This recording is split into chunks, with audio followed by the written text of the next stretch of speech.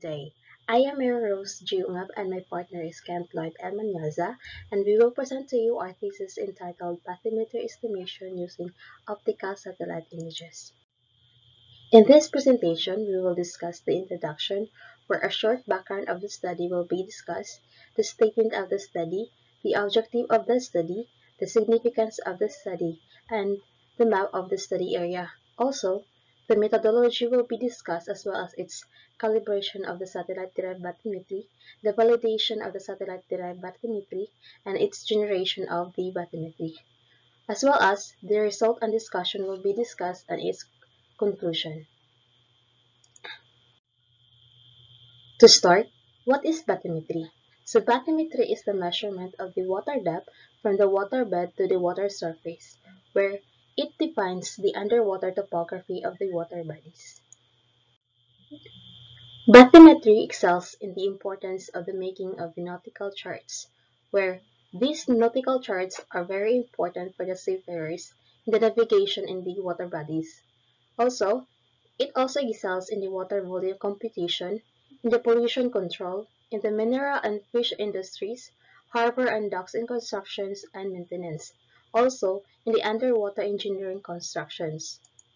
In gathering bathymetry data, there are conventional ways such as single beam echo sounder or SBES, multi-beam echo sounder or MBES, where it records the time taken by the sound waves to return to the sensor upon it reach the target, and the remote sensing techniques that were developed like the airborne lidar bathymetry or the ALB and the satellite-derived bathymetry or the SDB where it uses the optical satellite images.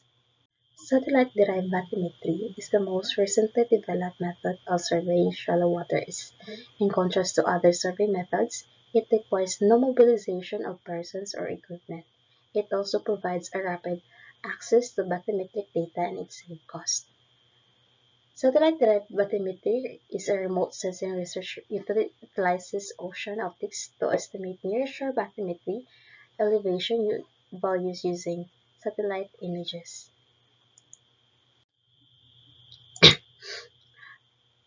Some of the remote sensing basic techniques are the LiDAR or the light detection and ranging, the satellite altimetry data, the synthetic aperture radar, and the optical satellite images where uh, some of its examples are Landsat, Worldview, PlanetScope, and Sentinel. The statement of the problem. The time consuming process and costly approach on gathering bathymetric data, also in taking advantage of the potential of the available satellite images in deriving good bathymetric data on a less expensive approach. there is still a need to conduct most specifically the coastal area in Caraga region to assess the performance of the bathymetry data gathering and its estimation. The objective of the study. The main objective of the study is to estimate the bathymetry in the coastal area of San Agustin using the optical satellite images. Also, it aims to calibrate and validate the satellite-derived bathymetry using the in situ measurements of the water depth. Lastly, it aims to generate a satellite-derived bathymetry or the SDB model of the study area utilizing the Landsat 8 image empirically using the linear band model by Lyzenga. Significance of the study. The result of the study would be able to help and assist the researchers that are primarily concerned with the understanding the coastal environment to determine the ability of the freely available satellite images like the Landsat 8 image using the linear band model by Lyzenga in mapping bathymetry in the coastal area of San Agustin, Surigao City. Also, the bathymetric information could be used by the Bureau of Fisheries and Aquatic Resources or the BFAR for the guidance in the development and improvement and management and lastly, conversion of the habitat of the marine life. Also, through the generated bathymetry models, nautical charts could be created Fishermen and mariners would be able to be guided for the safe transportation and avoid possible hazards. The map of the study area. So, so this study will focus on the coastal area of San Agustin Surigao del Sur, where this coastal area is located at the eastern part of the coast of the Mindanao Island, and this coastal area is famous for its white beaches and multiple islands called the Britannia Group of Islands. Methodology This is the outline of the methodology. The methodological flowchart, data collection, coastline delineation using NDWI thresholding, generation of calibration and validation points, linear regression, bathymetry estimation, and generation of satellite-derived bathymetry. This is the flowchart of the methodology. It starts with the data collection, creation of bathymetry models, assessment of the accuracy of the models, and generation of the satellite-derived bathymetry.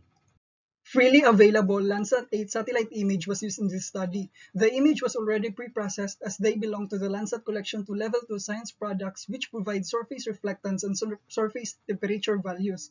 The downloaded image was ensured to be the same year as the in situ data were acquired which was in 2016. The Landsat 8 has 11 bands with a spatial resolution of 15, 30, and 100 meters. This is the whole Landsat 8 image and the subset area of San Agustin shown in true color. In situ bathymetry data was acquired by a single beam echo sounder in March 2016 as part of the project by CSU Field LiDAR 1. The in situ data is so dense, so it was randomly generated in which points were ensured to be 30 meters away from each other.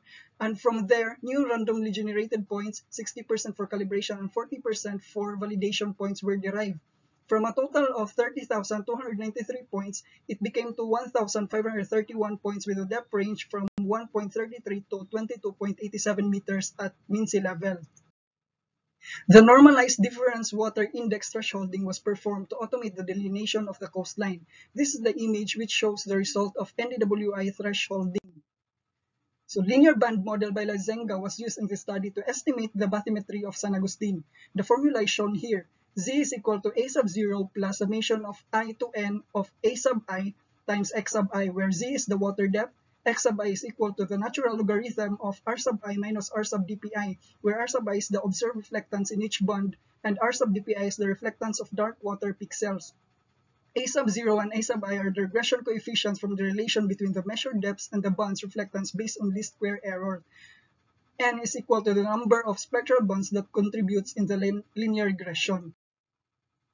The R sub dpi, or the reflectance of the dark water pixels, are values of the reflectance of the pixels that presume to be the deep parts of the coastal area, where light cannot penetrate anymore in the water column. 200 points of the dark water pixels were created and the average was used as R sub dpi. The accuracy of the derived satellite bathymetry was assessed through the analysis of the statistical errors using the formula shown, which are the bias, the root mean square error, mean absolute error, and the Pearson's correlation. Results and discussions. Raster values or surface reflectance values of the points are extracted. Four bands were used, coastal aerosol, blue, green, and red bands. From these four bands, a total of 15 combination of bands were created. This table shows the regression coefficients obtained from regression analysis performed using SPSS software. The highest R-squared obtained based on the table shown is the combination of the four bands, which can be concluded that all the four bands contributed to the regression. From the regression coefficients obtained, the model equations were then created which will be used to predict or estimate the bathymetry. These are the scatter plots of the 15 combination of bands that show the linear relationship of the predicted values with respect to the measured values. This is a scatter plot for using single bonds. These are the scatter plots for using the combination of two bonds. These are for the combination of three bonds, and the last scatter plot shown is for the combination of four bonds. This is the graph that summarizes the accuracy of the 15 models. It can be seen that model 15 or the combination of the four bonds has the highest accuracy obtained in terms of RMSE, bias, and mean absolute error. The root mean square error obtained for the combination of four bands is 1.4456 meters. The model equation of the highest accuracy obtained was used to generate the satellite-derived bathymetry of San Agustin. And this is the derived satellite bathymetry map of San Agustin. So conclusions. The bathymetry of San Agustin was generated using the Landsat 8 satellite image from the calibration and validation using the in situ bathymetry data. Satellite-derived bathymetry was generated using the model equation that obtained the highest accuracy. Thank you for your attention.